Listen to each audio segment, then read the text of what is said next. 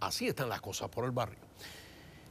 Imagine haber recibido la primera dosis de la vacuna contra el COVID-19 y cuando llega el momento de recibir la segunda dosis le dicen que no, no está disponible la segunda dosis.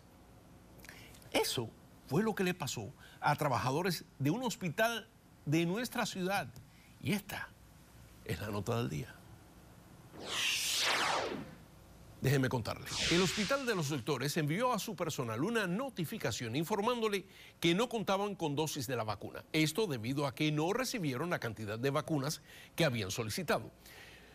Les aseguraron que tan pronto reciban más vacunas, les brindarán la información necesaria para acudir a aplicárselas.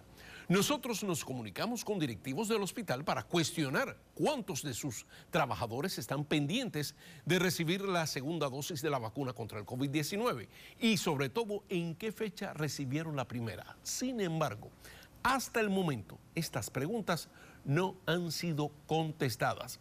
Cabe señalar que los Centros para el Control y Prevención de Enfermedades de Estados Unidos recomiendan recibir la segunda dosis tres semanas después de la primera o un mes como máximo.